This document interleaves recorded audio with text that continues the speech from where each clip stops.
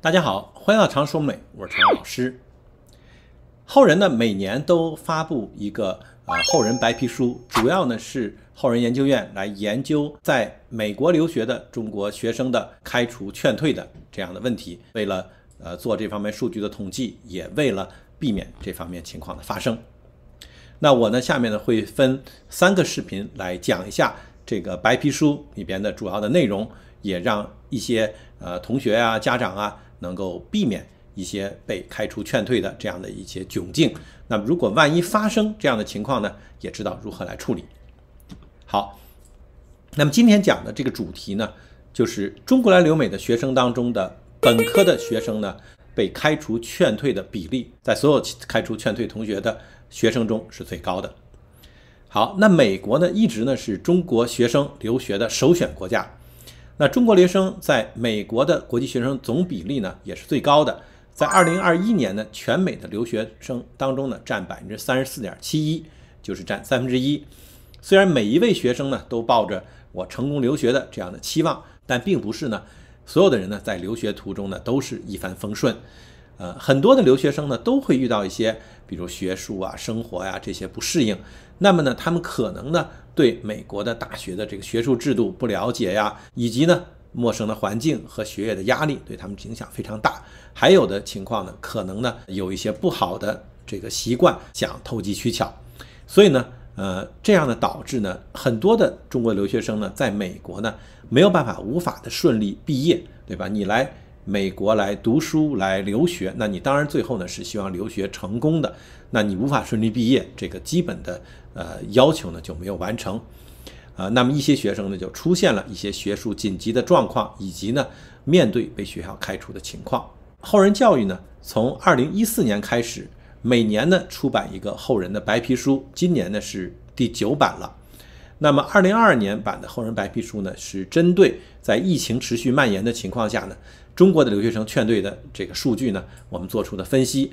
那么今天这个专题呢，就将从劝退学生的年龄和性别入手，那分析呢赴美的中国学生他被劝退的年龄情况呀，还有年龄、性别的这个情况。那我们从下面这个图可以看到呢，在二零二二年被劝退中国学生的这个统计数据里面，男生呢所占是百分之五十七点六，女生呢占的四十二点四。呃，这个和历年的数据都 差不多啊。男生的被开除劝退的同学呢，依然比女生要多。可能呢，女生呢比较听话，而且呢，可能女生呢，她在一些要越线的地方呢，可能她会相对比较保守一些。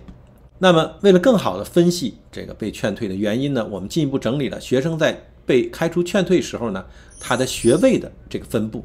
那么从这边可以看啊。从高中、本科、研究生、博士生都有被开除劝退的情况。这里边呢，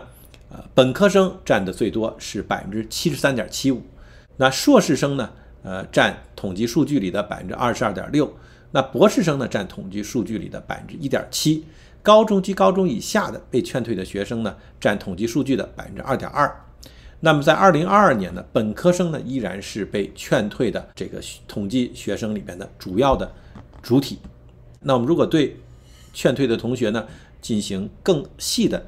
这个年级的划分呢，就可以看到呢，那么大一劝退学生人数占总人数呢相对比较低，大概呢占比百分之十一点九。大二到大四被劝退的人数的比例呢，呃呈递增的趋势。那大四呢被劝退的占比最多，占二十二点八；大三呢占二十点一，大二占十八点七，大一占十一点九。那研究生期间呢是劝退第二大高发的阶段，那研一呢是十一点九，呃研二呢是十点七，其中呢研一呢稍微多一些，但是大家知道研究生是只有两年啊，大学呢是有四年，所以呢呃这个研一研二呢基本上和大一的这个水平是相当的，那么咱们看到大三大四一个是百分之二十，一个是百分之二十二点八。那么大部分的留学生呢，都是经历了国内的高中教育，然后再选择来美国。那这样新的环境，对吧？新的娱乐方式，确实吸引了大家的这个目光，所以难免呢对美国的大学的这些学术制度啊、要求啊了解不足，因为他没有经历过嘛。于是呢，他就很容易出现呢，哎，对学习不上心啊，导致 GPA 低呀，还有呢，就是没有能意识到美国大学对学术诚信的重要性，而抄袭啊、作弊这些方面。那么对于低龄的留学生呢，可能呢更缺乏对自己的约束，而出现的违反校规、喝酒啊、打架这些行为，这样呢同样会导致呢被美国的学校开除。那么在这个数据里面呢，呃，我们看到大三、大四呢反而是。开除劝退的比例更多，比大一、大二更多。呃，那这个呢，也说明呢，在大三、大四的时候呢，这个学业呢更加的加重。也有的同学呢是觉得，哎，我到大三、大四了，掉以轻心了。呃，这样的话呢，呃，也容易出现这样的问题。那基于上面的数据呢，我们后人老师呢提出有三点的建议。第一个呢，就是学生在赴美之前呀。你需要深入系统的了解美国大学的这个学术制度，比如它的学术诚信制度、考勤制度，还有呢校规这些制度。那么你要避免呢引起这个违反制度导致的学术处分。第二呢，就是学生呢要保持良好的 GPA。你虽然说美国大学吧，它注重全面发展，但是呢，你作为学校，它还是要。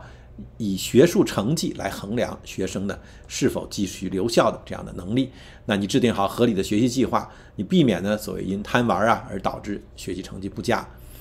第三呢，就是对低龄的孩子独自留学在外，咱们说低龄其实不完全是高中、初中啊，其实呢本科呢它也是低龄，因为就十几岁、二十一二岁。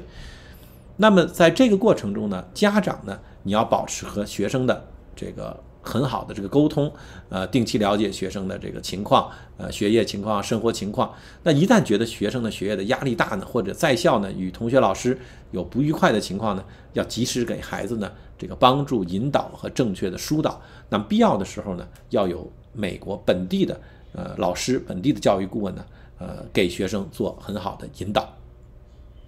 那么面对这种学术紧急类的这样的问题，那同学要注意呢，一定呢要在第一时间呢做出正确的应对，那才能更好的解决问题，得到更理想的结果。如果同学遇到比如因为 GPA 低啊、考试作弊啊、论文抄袭这些情况发生的，呃，美国的学校开除啊、劝退、停学，那一定要呢找后人这样的专业的机构来处理，来减轻处分，争取呢自己最大的利益。那美国后人教育呢，一直呢是致力于呢。更好的来帮助同学来顺利留学，来成功的留学，最后呢能拿到美国的这个学位，对吧？所以你在留学途中如果遇到任何的问题，那不管呢是呃行前还是后边来到美国的生活，那么都可以来咨询后人，我们呢帮助学生呢来解决问题，取得留学的成功，发掘潜能，走向优秀。那关于后人白皮书，呃，对学生的呃性别、年龄、年级。这方面的统计我就说到这儿。那么后边呢，我还会有两讲，接着来给大家提出进一步的呃建议。好，呃，谢谢大家的时间，呃，谢谢你观看、关注、点赞和转发，我们下次再见。